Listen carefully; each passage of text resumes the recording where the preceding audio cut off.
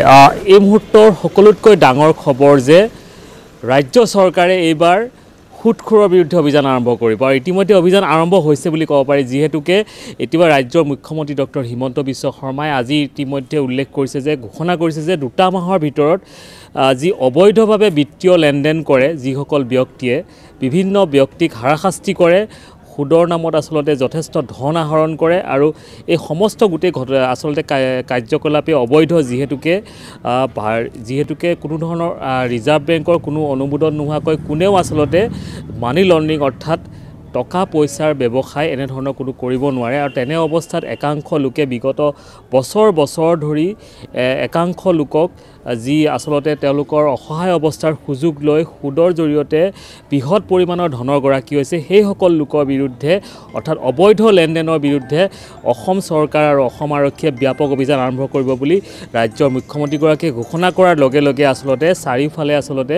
আৰক্ষী সষ্টম হৈ পৰিছে। আৰক্ষীয়ে জানিব পৰা মতে আৰক্ষীয়ে অসমৰ প্ৰায়বোৰ জিলাতে এনেধৰণৰ অভিযান আৰম্ভ কৰিব সুদখোৰৰ বিৰুদ্ধে। আৰু এই অভিযান কিন্তু আৰম্ভ হৈছে কালি কালি নিশাৰ ভাগতে মৰিগাঁও জিলাৰ মৈৰাবাৰী আৰক্ষীয়ে তিনিগৰাকী ব্যক্তিক গ্ৰেপ্তাৰ কৰিছিলে। তিনিগৰাকী ব্যক্তিক গ্ৰেপ্তাৰ কৰা হৈছিলে। তাৰে দুগৰাকী শিক্ষক আছিলে আৰু তেওঁলোক দুয়োগৰাকী তিনিওগৰাকীয়ে সুদৰ ব্যৱসায় কৰিছিলে অৰ্থাৎ অবৈধভাৱে বিত্তীয় লেনদেন কৰিছিলে আৰু সেইসকলক ইতিমধ্যে আৰক্ষীয়ে গ্ৰেপ্তাৰ কৰিছে। অৰ্থাৎ এই গ্ৰেপ্তাৰ প্ৰক্ৰিয়া আৰম্ভ হৈছে। আন কেইবাখনো জিলাত এনেধৰণৰ গ্ৰেপ্তাৰ প্ৰক্ৰিয়া ইতিমধ্যে অসম আৰক্ষীয়ে আৰম্ভ কৰিছে আৰু যিহেতুকে ৰাজ্যৰ মুখ্যমন্ত্ৰী ডক্টৰ হিমন্ত বিশ্ব শৰ্মাই ইতিমধ্যে ঘোষণা কৰিছিলে যে এই দুটা মাহৰ ভিতৰত ড্ৰাগছৰ দৰে এনেধৰণৰ ৰেকেটসমূহক সম্পূৰ্ণৰূপে উৎখাত কৰা হ'ব। গতিকে নিশ্চিতভাৱে ক'ব পাৰি যে মৰিগাঁও জিলাতো এই অভিযান আৰম্ভ চলিব।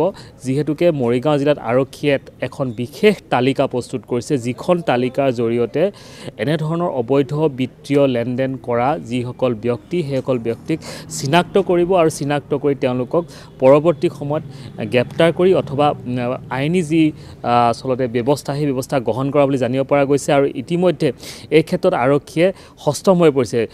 আৰু বিশেষকৈ ৰাজ্য চৰকাৰৰ এনেধৰণৰ কঠোৰ স্থিতি আৰু এনে Who? কঠোৰ স্থিতিৰ পিছতে আচলতে একাংশ লোকৰ মাজত হাহাকাৰ সৃষ্টি হৈছে। যিহেতুকে একাংশ লোকে বিগত কেইবাটাও বছৰ ধৰি এনেধৰণৰ এক অবৈধ যি বিত্তীয় লেনদেনৰ এখন বৃহৎ বজাৰ সৃষ্টি কৰিছিল যিখন বজাৰত আচলতে ধনৰ জৰিয়তে ধন বিনিয়োগৰ জৰিয়তে অবৈধ বিনিয়োগৰ জৰিয়তে আচলতে বছৰটোৰ ভিতৰতে লাখ লাখ টকাৰ গৰাকী হ'ব পাৰে একো একোজন ব্যক্তি। যিহেতুকে তেওঁলোকৰ যি ৰেট অফ ইণ্টাৰেষ্ট যাক কয় আচলতে যি সুদৰ যি হাৰ সেই হাৰ অত্যাধিক হয় আৰু এই অত্যাধিক সুদৰ হাৰত পৰি আচলতে একাংশ লোকে কেইদিনমান পূৰ্বে যোৰহাটত এগৰাকী ব্যক্তিয়ে মৃত্যুক সাৱটি ল'ব লগা এটা পৰিস্থিতিৰ সৃষ্টি হৈছিলে যিটো আচলতে পৰৱৰ্তী সময়ত জানিব পৰা গৈছিল যে তেওঁ সুদখোৰৰ পৰা যি তেওঁ ধন ধাৰলৈ লৈছিলে আৰু সেই ধন ধাৰৰ ঋণ পৰিশোধ কৰিব নোৱাৰি আচলতে এনেধৰণৰ এক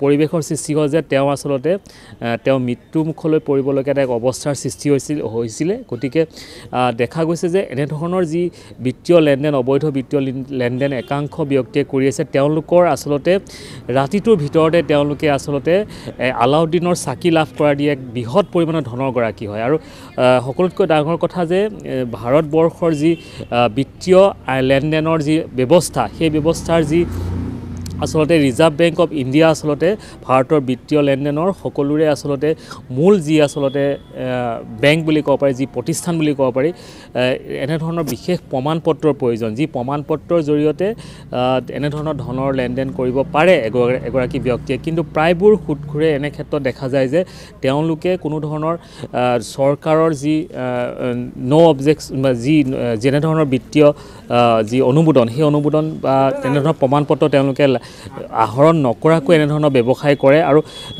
যি অবৈধ মানি লণ্ড্ৰিঙৰ আচলতে কোনো ধৰণৰ ঘটনা আচলতে কোনো কাৰণতে গ্ৰহণযোগ্য নহয় বুলি ইতিমধ্যে ৰাজ্যৰ মুখ্যমন্ত্ৰীগৰাকীয়ে আজি ঘোষণা কৰাৰ পিছতে অনাগত প্ৰাঞ্জল দাস আপোনাক ধন্যবাদ জনাইছোঁ।